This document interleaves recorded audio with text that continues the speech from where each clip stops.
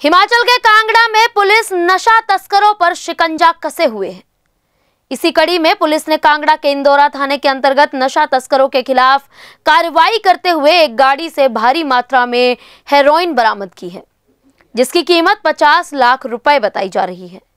हालाँकि गाड़ी का मालिक एवं मुख्य आरोपी तो मौके से फरार हो गए, मगर पुलिस ने उसकी गाड़ी से 302 ग्राम हेरोइन बरामद करने में सफलता हासिल की।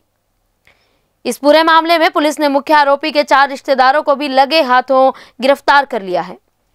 काबिले गौर है कि नशा तस्करी का मुख्य आरोपी धर्मवीर उर्फ़ गोविंदा छन्नी वैली का रहने वाला है, जिसके यहाँ से पुलिस ने कुछ दिन पहले ही छापेमारी पर करोड़ों की हेरोइन बरामद की थी और वो मौके से फरार हो गए थे।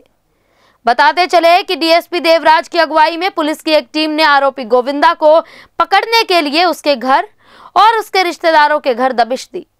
जिस दौरान घर के बरामदे में खड़ी आरोपी की क्रेटा कार की तलाशी ली तो उसमें से करीब 302 ग्राम चिट्ठे की खेप पुलिस को बरामद हुई। वहीं डीएसपी देवराज ने बताया कि आरोपी गोविंदा पिछले काफ़ी समय से नशे के कारोबार में संलिप्त है और उस पर पहले से ही कई मामले दर्ज हैं। कांगड़ा से संवाददाता दौलत चौहान की रिपोर्ट। आपने जो रात को माल पकड़ा है, बहुत बड़ी खेप, पहले तो आपको बहुत बहुत बधाई हो। ये पूरी डिटेल बताएँगे कहाँ से पकड़ा, कैसे पकड़ा, sir?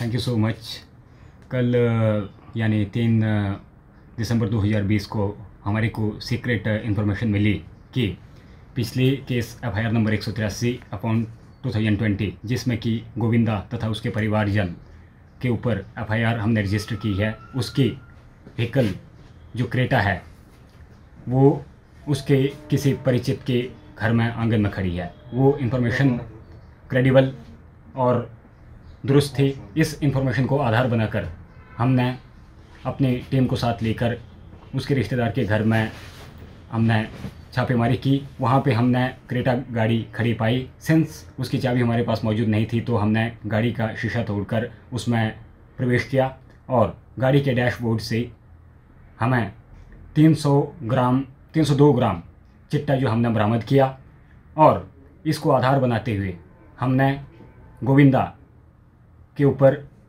case number, case FIR number एक सौ पचासी दो हज़ार बीस रजिस्टर किया और जिस घर में व्हीकल को रखा गया था, उनको अंडर सेक्शन 25 में हमें फिक्स करते हुए, क्योंकि अंडर जो एनडीपीएस का सेक्शन 25 है, वो क्लियरली बोलता है कि कोई भी vehicle means of conveyance building या कोई स्पेस अगर किसी एनडीपीएस के पदार्थ के लिए यूज़ किया जाता है, उसको संरक्षण देने के लिए यूज़ किया जाता है। तो अंडर 25 उसको हम एक्यूज बनाएँगे उसको। इसको आधार बनाते हुए हमने गोविंदा तथा श्रेष्ठा कुमारी, अनामिका, पवित कुमार और रेखा के ऊपर हमने केस रजिस्टर किया। चा, इसमें चार एक्यूज को अरेस्ट किया गया है, जबकि गोविंदा एक सौ तिरासी केस एफआईआर नंबर रजिस्टर होने के बाद यहाँ से फरार है, जिसकी जो है वह कॉन्टीन्यूस सर्च जारी है। सर ये कीमत कितनी तो, तो कीमत कितनी है है इसकी जो इसकी कीमत इस टाइम देखा जाए तो अप्रॉक्सीमेटली फिफ्टी लैक्स के करीब है। और मैं एक संकेत यहाँ से डायरेक्ट स्ट्रॉन्ग मैसेज देना चाहता हूँ छन्नी वासियों को तथा जितने भी यहाँ पे ड्रग पैडलर्स हैं जो ये नशे का व्यापार कर रहे हैं कि under twenty section twenty five of N हमें इतनी पावर देता है कि कोई भी व्यक्ति जिसका संबंध किसी भी इस प्रकार के अवैध नशे का कारोबार तथा धंधा करने से है, उनके खिलाफ भविष्य में भी स्ट्रॉन्ग एक्शन लिया जाएगा। इसीलिए मैं आप लोगों को यहाँ से राय देना चाहता हूँ कि जो भी ड्रग पैडलर्स हैं, उनका किसी भी प्रकार से बचाव ना करें, उनके साथ कोई भी कनेक्शन ना रखें। अपने घर बिल्डिंग स्पेस तथा किसी प्रकार की कोई भी मीन्स ऑफ़ कन्वेंस को इस तरह के ड्रग पैडलिंग के लिए यूज़ करने ना दें अदरवाइज़ एनडीपीएस के तहत आपके ऊपर भी स्ट्रॉन्ग मुकदमा रजिस्टर किया जाएगा। थैंक यू ऐसे ही लेटेस्ट खबरें पाने के लिए बेल आइकन को क्लिक कर हमारे चैनल को लाइक शेयर एंड सब्सक्राइब करें। धन्यवाद।